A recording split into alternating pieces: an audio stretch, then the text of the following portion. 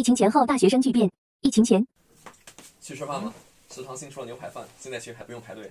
食堂的饭狗都不吃，要吃你们去。我已经约了人去龙湖吃烧烤了。疫情后，哎，去食堂买饭吧？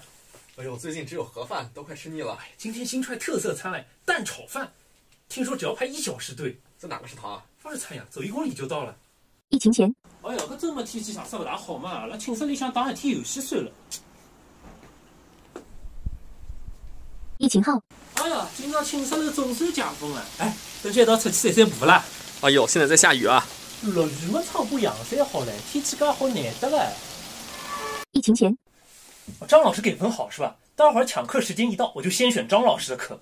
疫情后，明天早上八点抢麦当劳，十二点抢鸡蛋灌饼，晚上八点抢理发店，八点半抢超市名额。闹钟都定好了吧？定好了吧？